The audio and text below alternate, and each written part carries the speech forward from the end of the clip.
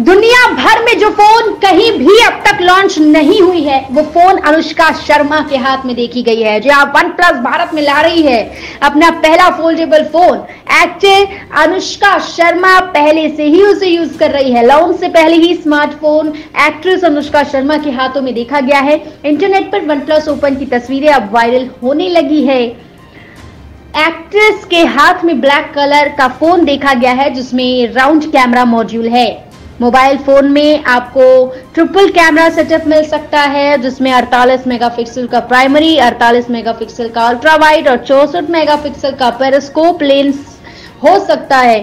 Front में 32 megapixel का camera main screen पर कंपनी दे सकती है। वन प्लस ओपन में 4800 सौ की बैटरी, सड़सठ वॉट के फास्ट चार्जिंग के साथ मिल सकती है। फ़िलहाल ये जानकारी सामने नहीं आई है कि फ़ोन किस कीमत पर लॉन्च होने वाली है।